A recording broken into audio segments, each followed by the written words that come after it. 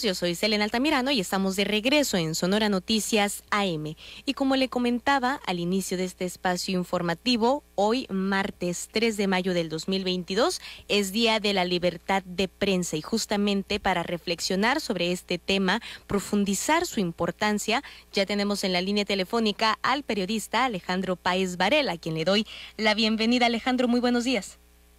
¿Cómo está? Muy buenos días. Aquí a sus órdenes. Bien, muchísimas gracias Alejandro. Y bueno, con la experiencia que ya tienes en medios de comunicación como periodista, ¿qué le puedes decir a nuestros radioescuchas sobre la importancia de este día de la libertad de prensa, que finalmente también es una cuestión de derechos humanos? Mire, pues eh, obviamente eh, más o menos una, una conciencia en México de la importancia que se tiene de una prensa libre, eh, pero no solamente libre e independiente de, digamos, de palabra, sino una prensa libre e independiente en los hechos, que responda no a los intereses de los grupos eh, de presión, sino que responda al verdadero interés público que es al final el que le da sentido y hace posible que exista la, prensa. En, México, como todos sabemos, durante mucho tiempo la prensa tuvo que eh, sujetarse a la presión del Estado, del gobierno en turno y de distintos poderes, incluyendo el poder, que es muy importante que el poder económico, eh, pues puede ser para bien o para mal, puede tener una presencia muy sólida en, en, los medios.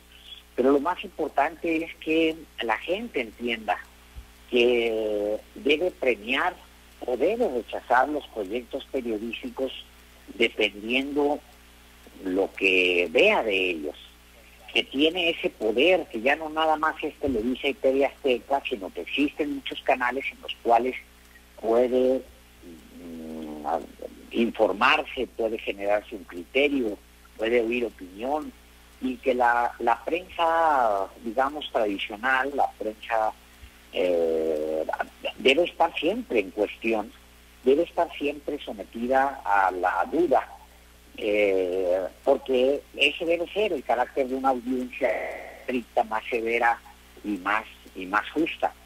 Es, es muy importante, es una, una, digamos, de las patas de la mesa que compone eh, una democracia, es una de las cuatro patas de una democracia, ¿no? Sí, sí. Y esa es la importancia que tiene. Claro, y sobre todo qué bueno que nos platicas esta parte también contextual histórica, Alejandro, por el interés público, la lucha del interés eh, público sobre cualquier otra cosa, porque como nos lo comentabas, el mismo poder económico ha venido a coartar la libertad de ciertos medios de comunicación, incluso hasta crear una élite periodística, lo cual no, eh, pues no tiene mucho que ver con la libertad de prensa y muchas veces utilizan esta justificación justamente para operar solamente en contra de un gobierno o en, en, contra de los intereses de la mayoría también, o para ocultar información, que es lo más grave. Sí, eh, eso ha pasado durante años, pero una noticia importante de los últimos años es que tampoco crea usted que eh, la, la, prensa quiere cambiar. Es decir, la, la prensa se siente exactamente igual que hace cinco años o que hace seis años y siente que, que lo que está viviendo el país es algo que va a ser nada más temporal. Y creo que ahí está el error. En general, creo que los partidos, la academia, en general creo que los poderes económicos creen que lo que la evolución que ha tenido México en estos últimos años es algo que va a ser temporal y que es posible regresar a lo que había hace muy poco tiempo. ¿Y qué es lo que había hace muy poco tiempo? Bueno, la opinión y las noticias estaban concentradas en muy pocos medios, que eran los poderosos, y había que aceptarlo como, como la verdad absoluta porque no había otra cosa a la cual recurrir. Esto se está cambiando dramáticamente. Claro. Y sobre todo con la llegada de las redes sociales, Alejandro, que cada vez vemos a más periodistas independientes que realmente están defendiendo los intereses de las minorías, de voces que muchas veces no son escuchadas y que ahora se les está dando esta voz. Sobre todo, por ejemplo, eh, me refiero al periodista local, al que está en las comunidades, al que saca eh, de las sombras eso que está ocurriendo y no solamente a nivel local, también siento yo que a nivel capital de la República está pasando algo muy parecido. Es decir, hay muchos periodistas que se han comprado la idea, y eso es bueno, de que es posible sobrevivir fuera de los, de los imperios eh, eh, informativos o los imperios mediáticos que existen en México. Ahora, pues un canal de YouTube puede tener perfectamente miles, miles de vistas porque la gente está, digamos que ahora sí se creyó que trae el zapping en la mano y puede castigar y premiar de acuerdo con, con sus propios intereses. Si usted analiza la prensa escrita en el país, se va a dar cuenta que todavía están los mismos eh, articulistas, las mismas caras, los mismos textos, las mismas posiciones que estaban hace cuatro años, por ejemplo, ¿no? Que es un castigo o, o este o, revela y la posición que se tiene en la prensa. Hay muy poca evolución en la televisión, hay muy poca evolución en los impresos, hay muy poca evolución en la radio incluso hay algunos destellos por ahí, pero no son suficientes para la cantidad de cambios que se han dado en tan poco tiempo. Claro. Y cuando hablas de estos cambios, ¿te refieres también a, los cambios del capital humano o nada más a los cambios en el contenido que se está eh, produciendo? En ambos, porque al final el contenido es capital humano. Lo, lo que hemos visto en estos, en estos años es que ha habido una resistencia de los medios para asimilar los cambios que se han dado a nivel eh, federal y también a nivel local. O sea, eh, la prensa de repente se ha encontrado en un callejón sin salida donde piensa que provocar una revolución al interior de sus propias redacciones y abrirse a más libertad eh, es apoyar a un gobierno o eh, o darle alas a un gobierno que no simpatiza en lo absoluto con los modos y las formas que se daban. Entonces es un error eh, fuerte porque entonces la prensa en México se está exponiendo a que las audiencias terminen buscando nuevos canales en los cuales se puede informar. Pero si usted se fija, los noticieros están exactamente iguales a hace cuatro años.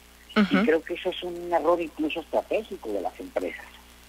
Claro, ¿cómo estamos ahorita en libertad de prensa, Alejandro Paez Varela? Porque por un lado vemos que en México no, no hay una restricción como tal del gobierno, sin embargo los números también son más, son alarmantes cuando vemos también los casos de periodistas asesinados, que sabemos eh, pues no necesariamente son eh, pues ocasionados por el gobierno, sino que también hay muchos otros grupos de interés, como pueden ser algunos grupos delictivos del narcotráfico, cárteles que también hemos visto que operan en contra de periodistas y los callan, ahora sí que lamentablemente, con su vida.